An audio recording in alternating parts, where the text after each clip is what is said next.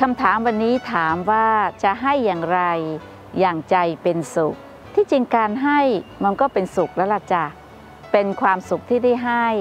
แต่การให้ไม่ใช่หมายถึงการให้ทรัพย์สินเงินทองเท่านั้น เราอาจจะหมายถึงการให้สติปัญญา ให้การช่วยเหลือ ให้โอกาส ให้เวลาฟังกันอย่างมีหัวใจของเพื่อนร่วมทุกข์ การให้ที่เราไม่ทวงบุญคุณก็เป็นสุขอย่างหนึ่ง การให้และไม่ลำเริบ ว่าฉันให้เธอนะ เธอต้องเป็นอย่างที่ฉันให้นะ นี่ก็เป็นสุขอีกอย่างหนึ่ง สุดท้ายถ้าการให้ของเราขอบคุณผู้รับด้วย ขอบคุณโอกาสที่เราได้ศรัทธาการให้ของเรามากขึ้น ขอบคุณโอกาสที่เราได้ให้ การให้นั้นศักดิ์สิทธิ์เพราะจิตของเราที่คิดจะให้ มันเสียสละตัวตนของคนให้ลูกมันเสียสละความเห็นแก่ตัว เสียสละการยึดถือครอบครอง การให้ของเราก็ศักดิ์สิทธิ์ เพราะจิตของคนให้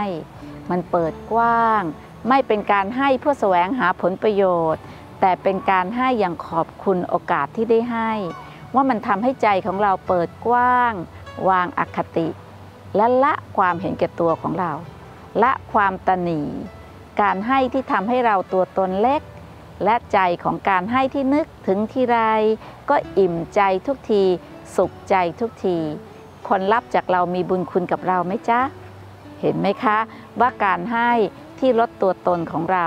ยกย่องโอกาสที่เราได้ให้ มันจะทำให้เราพ้นทุกข์แน่นอน และถ้าการให้ที่ไม่ทุกข์มันก็เป็นสุขแล้วลูกมาช่วยกันมีจิตที่คิดจะให้ที่เบา เพราะเกลี้ยงเกลาจากกิเลส เสียสละความเห็นแก่ตัวของเรา ช่วยอะไรได้ก็ขอบคุณโอกาสที่เราได้เข้าไปช่วยนะจ๊ะ การให้เช่นนี้ จะทำให้เรามีพัฒนาการของการให้ที่ลึกซึ้งขึ้น